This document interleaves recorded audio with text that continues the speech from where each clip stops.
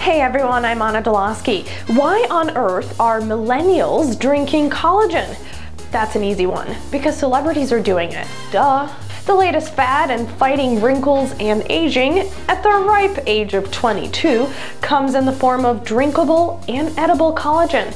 So if you've had enough of moisturizing your face with overpriced creams from Walgreens, you can resort to a different avenue. But if you're picturing that collagen goes directly to your bones and skin to fortify them, you're not alone. And you're also wrong. Collagen is a protein, and like any other protein, it simply cannot travel from your gut to your skin. There's no conduit.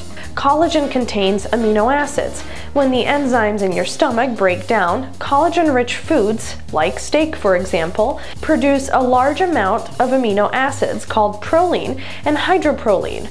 If, for example, someone is proline deficient, which is unheard of, collagen could be beneficial, maybe, but probably not. Basically, in other words, it's a fruitless exercise. Okay, but you say, isn't it true that collagen can repair damaged DNA in skin? Scientists say maybe.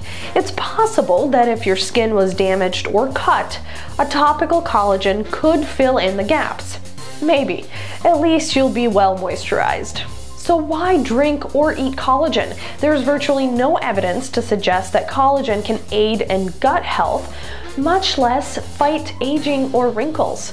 Why fight them? We're all going to age anyway. Yes, even this millennial face.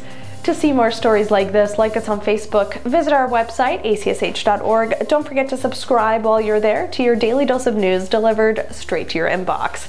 For the Council, I'm Anna Dolosky.